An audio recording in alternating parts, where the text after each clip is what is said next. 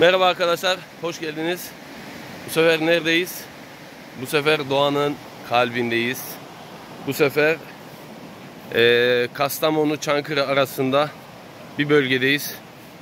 E, şöyle bir doğayı göstereceğim ilk önce.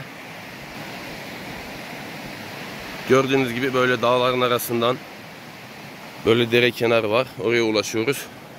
Erzağımızı aldık. iki gün yetecek şekilde. Su depomuz dolu. Burada daha önce görmüştünüz. Kamp ekip, ekipmanlarımız var. Her şey içinde.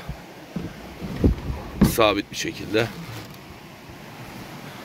Buralarda sandalyemiz. işte şemsiye, hamak. Çadırımızı kurduk. Çadırımız dere değil, çay kenarı arkadaşlar. Kamp ateşimizi de yaktık. Gördüğünüz gibi. Karpuzlarımızı da attık. Su çok güzel. Bu suda suya girilebiliyor. Burası takriben Ankara'ya 2 saat. Hadi daş atlasa 2,5 saat mesafede.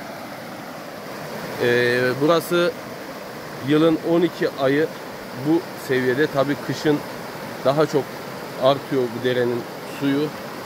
Burada genellikle sazan, kefal ve e, derenin göl olduğu kısımlarda da yayın bal, balığı olduğu söyleniyor. Burada bir abimiz dereden karşıya geçmeye çalışıyor. Karşı tepeleri göstereceğim. Kamp, kamp düzenimizi aldık. Ekibin bir kısmı yukarı çıktı yaya bir şekilde. Sonra direğe girerek elle balık tutacaklar. Onu da şöyle göstereyim. Derin, sığ fark etmeksizin örneğin kayalar, ağaç köklerinin altına böyle ellerini sokarak balık yakalıyorlar. Ee, bu tarafa yaklaşınca onları çekeceğim. Göstermiş olacağım. Bizde durum bu. Görüşmek üzere. Saygılar, sevgiler.